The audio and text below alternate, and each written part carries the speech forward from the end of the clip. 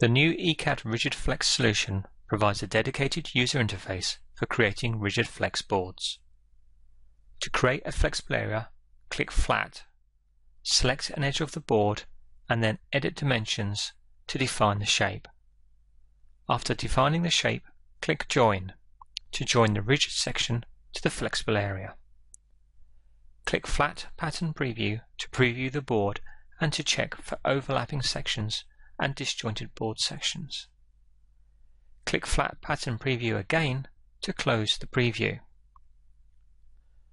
You can create other ECAD features such as mounting holes and ECAD areas. All the design work is done within a bended state. After defining the board, you can activate the ECAD assembly. Click Flat Pattern to see the flat state of the board.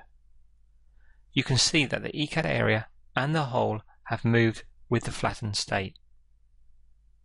Click Flat Pattern Preview again to return the bended state. You can access ECAD collaboration and import ECAD design changes all within the bended state. Components are assembled to each rigid section of the board. You can then exit ECAD collaboration and click Flat Pattern to preview the flattened state and check the components, the ECAD area and the ECAD holes are in the flattened state.